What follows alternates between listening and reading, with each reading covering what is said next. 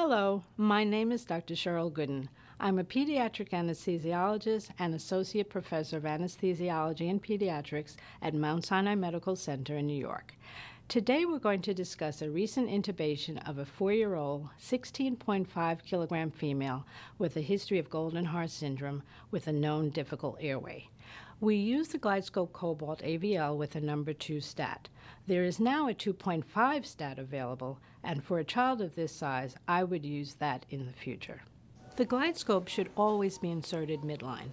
No sweeping of the tongue is required. During this procedure, we work with a plastic surgeon who appreciates our use of the GlideScope because it provides him with the opportunity to preoperatively assess the palate.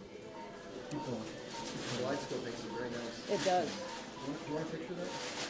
Just a static picture? Note that we maintain this patient spontaneously breathing. The cords are topicalized with lidocaine to blunt the response upon intubation. Because the patient had a known difficult airway, we avoided the use of muscle relaxant until after the airway was secured. Okay. And we're right there. Okay. Twist it right. Yes. Okay, good. So take that out. So here are some tips that I would like to share for successful use of the GlideScope Pediatric Video Laryngoscope. Insert the blade midline. Do not sweep the tongue. Avoid going too deep with the blade as this can worsen the view. Use a semi-rigid stylet to shape the endotracheal tube.